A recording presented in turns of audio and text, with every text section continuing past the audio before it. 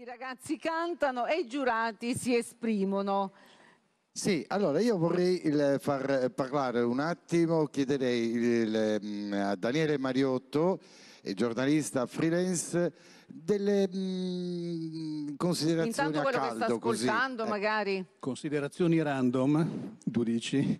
Bah, direi complessivamente una più che eccellente non edizione del premio Lucio Dalla, quindi anche un ottimo viatico in vista della solenne celebrazione del decennale che si terrà nel primo weekend del prossimo dicembre.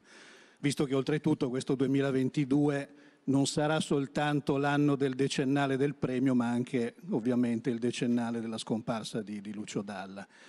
Ehm, il, il, lavoro svolto durante la notte, perché si è concluso a tarda, tardissima ora da parte della Commissione interna e della Commissione testate web, radio, tv, eh, ha richiesto una lunga elaborazione perché effettivamente mh, possiamo dire che il livello di qualità dei brani era mediamente eh, elevato e a sua volta eccellente, sia per i contenuti, sia per i testi, sia per le interpretazioni, soprattutto da parte di alcuni, sia per l'impostazione musicale.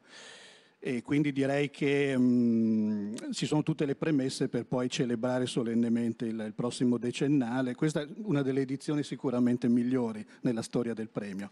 Grazie. Tra l'altro, ecco, volevo sottolineare, sì. come dicevo proprio a Maurizio nei giorni scorsi, che una nota di, di encomio gli va eh, doverosamente eh, indirizzata e destinata per aver saputo in questa edizione selezionare una folta rappresentanza di artisti al femminile come ma non mai in edizioni precedenti. Ci è vuole, vero, ci vuole, ci voleva. Eh, dobbiamo riconoscere a Maurizio, in quanto inesauribile factotum del premio, questo, questo merito che grazie, è grazie, grazie. dovuto.